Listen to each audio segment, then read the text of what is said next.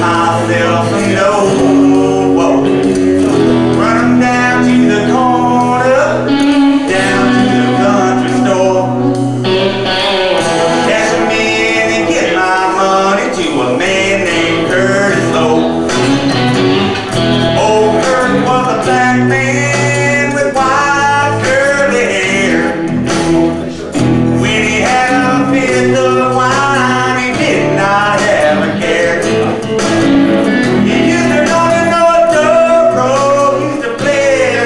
with me. I'm really excited. I give